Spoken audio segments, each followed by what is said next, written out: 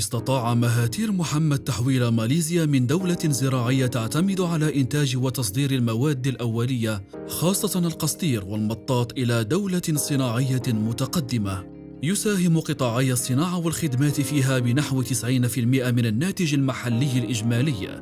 وتبلغ نسبة صادرات السلع المصنعة 85% من إجمالي الصادرات.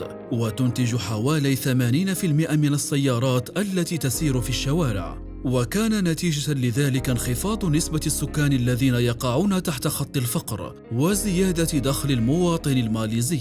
فمن هو مهاتير أو محاضير محمد؟ مهاتير محمد هو رابع رئيس وزراء لماليزيا. تولى رئاسة الوزراء خلال الفترة من 1981 إلى 2003 وتعتبر أطول فترة لرئيس وزراء في ماليزيا. حقق خلالها نهضة حضارية وتعليمية واقتصادية لماليزيا غير مسبوقة. ولد مهاتير محمد في العاشر يوليو عام 1925 في آلور سيتار بولاية قدح لأب ينحدر من أصول هندية وأم من أصول مالوية. التحق مهاتير محمد بالمدارس العامة قبل أن يواصل تعليمه بكلية السلطان عبد الحميد في آلور ستار التحق مهاتير بعد ذلك بكلية الملك إدوارد السابع الطبية بعد التخرج في عام 1953 خدم مهاتير في الحكومة الماليزية الاتحادية وقام بدراسة الشؤون الدولية بجامعة هارفورد بالولايات المتحدة الأمريكية. عمل كضابط خدمات طبية ثم تزوج من زميلته في الدراسة التي أنجب منها ثمانية أبناء. شهد عام 1970 بزوغ نجم مهاتير محمد في الحياة السياسية في ماليزيا حيث شهد هذا العام تأليف مهاتير لكتاب بعنوان معضلة المالايو.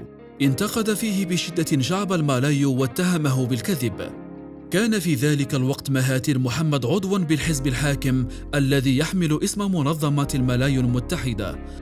بالطبع اعترض الحزب الحاكم على الكتاب وحظر نشره إلا أن مهاتير محمد استطاع إقناع قادة الحزب بأفكاره وتدرج بالحزب حتى تقلد منصب رئيس وزراء ماليزيا كيف حقق مهاتير محمد النهضة لماليزيا؟ إن مهاتير محمد لم يكن مثل كثير من القادة حول العالم منبهر بالثقافة والاقتصاد الغربي والأمريكي بل كان كثيرا ما ينتقد ذلك إنما اتجه مهاتير محمد الاستفادة من تجارب نجاح الدول الشرقية لا سيما اليابان. ورأى أن التجربة اليابانية هي الأقرب للتحقيق في بلاده. رفض مهاتير محمد السياسات الغربية وسياسة السوق المفتوح لأنه رأى في ذلك تعزيز احتكار الشركات المتعددة الجنسيات لأن الشركات الوطنية لن تستطيع منافستها. أولى مهاتير محمد التعليم اهتماما كبيرا. فبالعلم والمال يبني الناس ملكهم فلم يبنى ملك على جهل وإقلال. في هذا السياق اهتم مهاتير محمد بالمرحلة قبل الابتدائية فجعلها جزءا من النظام الاتحادي للتعليم واشترط أن تكون جميع دور الرياض وما قبل المدرسة مسجلة بوزارة التربية وتلتزم بمنهج تعليمي مقرر من الوزارة وأضاف مواد تعزز من روح الوطنية والانتماء. في السادسة من عمر الطفل ومع بداية المرحلة الثانوية تصبح العملية التعليمية شاملة فيدرس الطالب بجانب العلوم والآداب مواد خاصة بالمجالات المهنية والفنية التي تتيح للطلاب فرصة تنمية وصقل مهاراتهم. التعليم أولاً قام مهاتير محمد بتخصيص جزء كبير من ميزانية الدولة للتعليم وأنشأ عدد كبير من المدارس.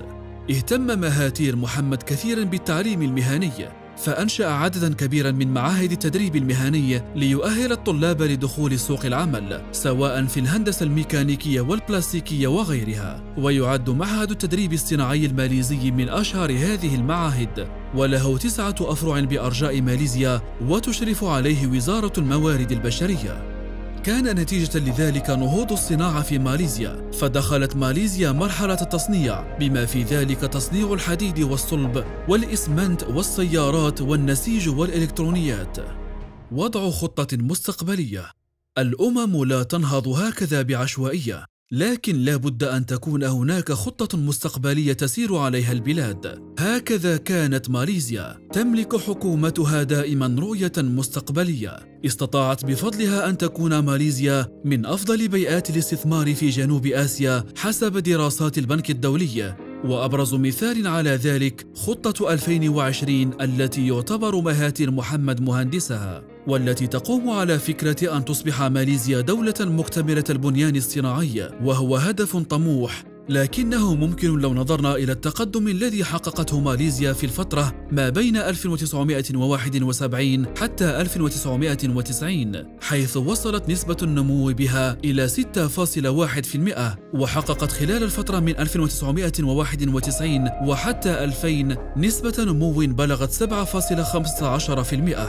تطبيق تعاليم الإسلام. كان مهاتير محمد يفخر بكونه مسلما ويرجع نجاحاته دائما إلى تطبيقه تعاليم الدين الإسلامي.